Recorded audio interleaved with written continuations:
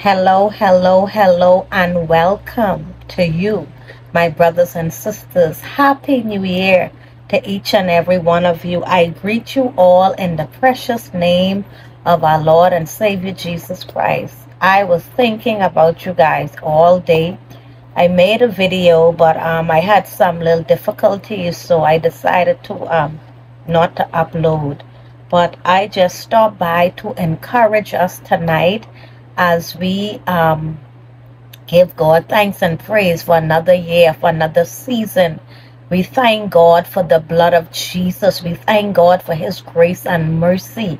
I want to say thank you and welcome to you, my new subscribers. Thank you to each and every one of you for liking, for sharing, for even leaving comments.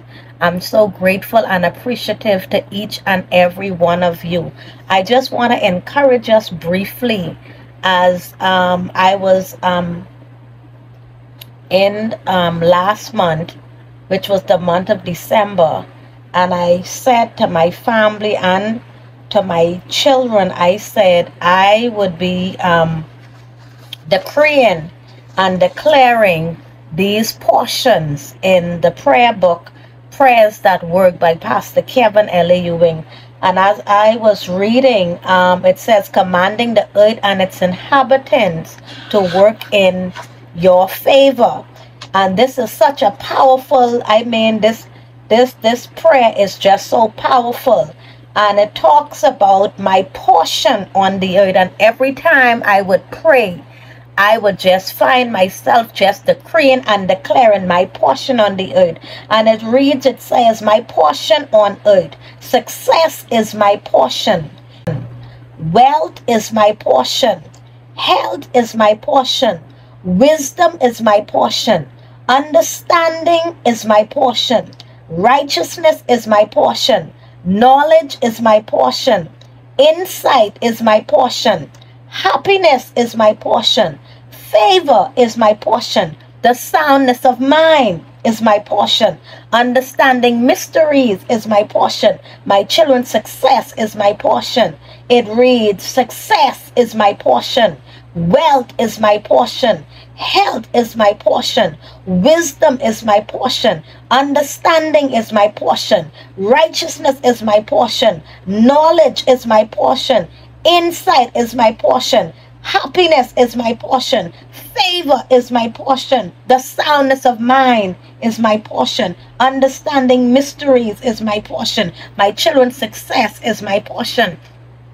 And I said to my family that I would be decreeing these portions over my life and my family as I walk in to 2024. I would be decreeing and declaring these portions.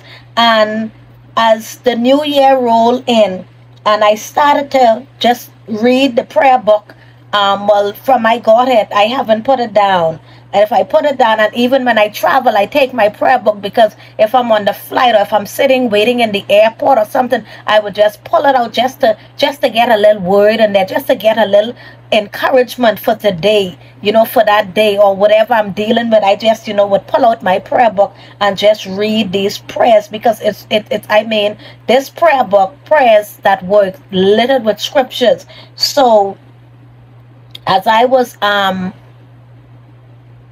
continuing, you know, to just focus on the will and the purpose and the plan of God for my life and my family. I came across another powerful prayer that we would always use in our morning devotion, praying God's word. Um, I wouldn't go through the whole passage, but there's two passage of prayer that I would really love to share with you guys, just to encourage you, just to lift your spirit, just to give you hope to know that guess what? God is so awesome. God is so mighty and God is so powerful. And the thing about it is the knowledge that, oh my God, the, just the awesome and the greatness of God. And I just want to read just this portion, just to encourage you, my brother, my sister.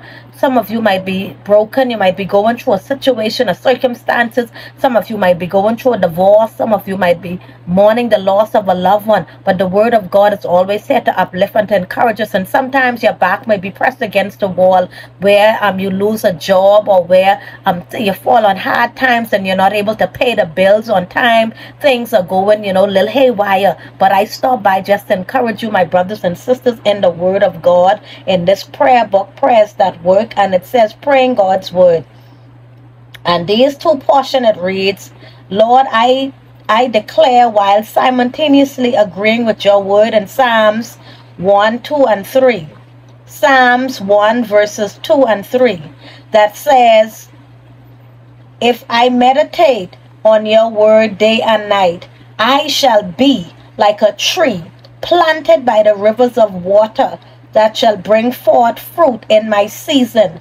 My leaves shall not wither, and whatsoever I do shall prosper. That is Psalms 1 verses 2 and 3. It reads, God Almighty, I bind myself to your word that cannot lie. Your word says clearly to me in Proverbs 8 and 12. Listen carefully.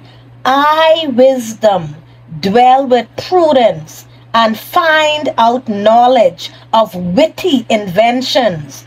Thank you, Lord, for the knowledge you have set aside just for me to discover witty inventions so that I and my family shall prosper. And as I read that prayer and as I read the scripture that goes, it says, I, wisdom, dwell with prudence with prudence and find out knowledge of witty inventions. And you guys might say, why is it that let me tell you something.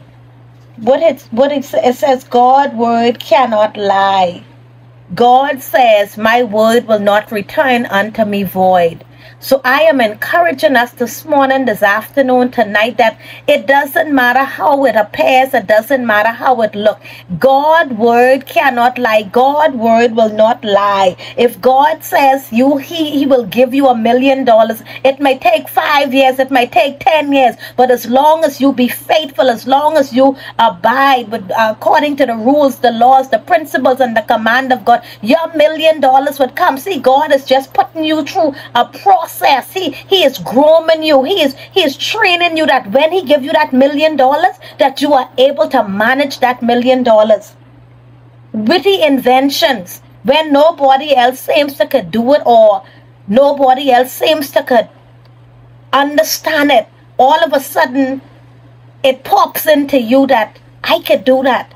I could fix that. I could create that.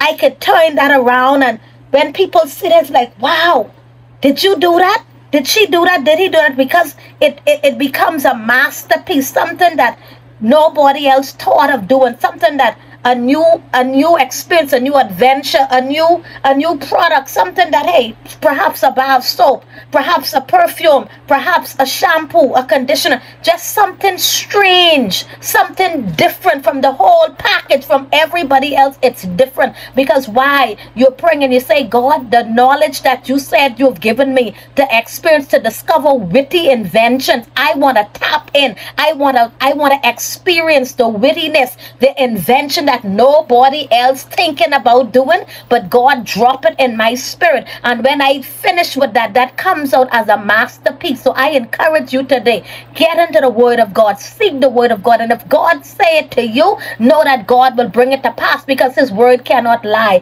His word will not return unto him void. Hear me today. I encourage you today as I encourage myself. I believe in God for supernatural things in 2024. I believe in God. I've been I've been praying this word word, God, I want wisdom.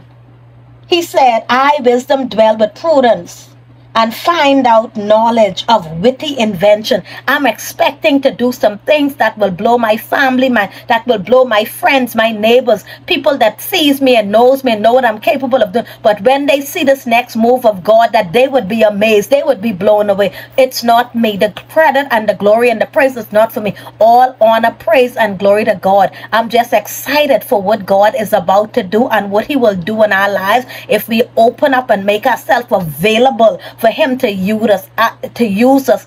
I'm so excited to experience witty inventions things that nobody else thought about. But i thought about it because why? The holy spirit downloaded in me. Let the Holy Spirit download those witty inventions that people never expected or think that you could do. But because of the Holy Spirit down inside of you, the knowledge and the wisdom and the understanding combine together, and you have witty inventions. God bless you, God keep you, God strengthen you. Thank you once again, my brothers and sisters, for liking, for subscribing. Thank you. I appreciate you all so much. Have a blessed and a wonderful, exciting, venturous, witty inventions in this new year. Peace and blessings to you. In Jesus' name is my prayer.